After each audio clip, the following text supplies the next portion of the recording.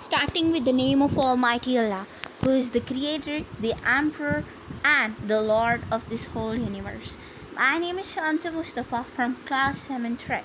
Today, I will present on the science topic that is blood vessels. So, what are blood vessels?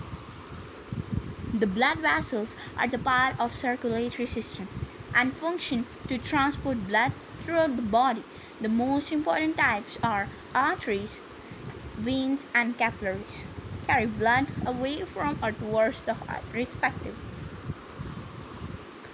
Three types of blood vessels.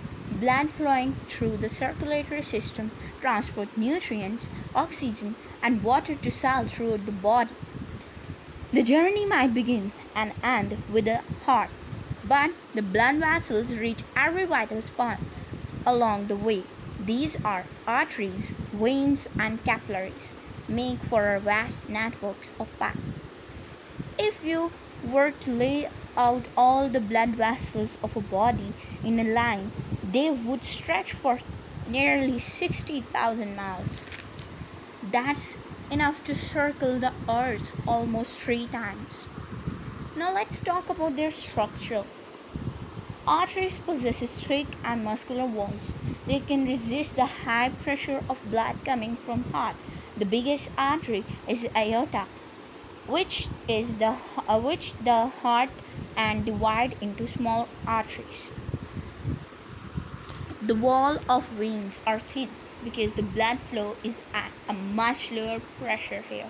To prevent the backflow of this lower pressure of blood, the veins contains valves Capillaries. Capillaries are microscopic, thin walled vessels that connect arteries to veins. Now let's talk about their function. Blood vessels flow blood throughout the blood, uh, throughout the body.